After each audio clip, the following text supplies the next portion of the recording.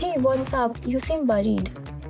Yeah, actually, I'm trying to choose between multiple AI specializations. Uh, you know, between core machine learning and uh, you know natural language processing and you know computer vision. And I'm not sure which one is the best choice for me. Understood. So, do you have any particular preference or do you have any background in a particular domain? So, uh, I have done some basic machine learning courses. I know basics about the algorithms and how machine learning works, but uh, no other specialization as such. Understood. See, core machine learning is like the foundation where you're required to build models and work on algorithms and it's broad. It applies everywhere. Whereas nlp is actually about generating human language. So it's huge with chatbots voice assistants sentimental analysis. So which path do you exactly want to choose? Okay, uh, and what about computer vision?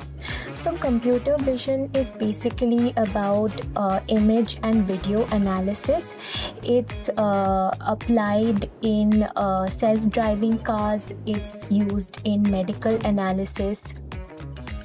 Okay, so core machine learning is theory, broad, uh, natural language processing is more language related, and computer vision is more visual analytics, right? Yeah. But which of these three have higher salaries and which you know good companies are hiring for which of these one of these three roles So, see, uh, when it comes to NLP and computer vision, these are very specialized domains. Hence, companies uh, value these roles much more than the core machine learning role. And if, in case, you have experience in deep learning frameworks, it's a plus point. Okay so basically it sounds like i should choose what domain to go into based on the projects that i want to do and not just salary Yes.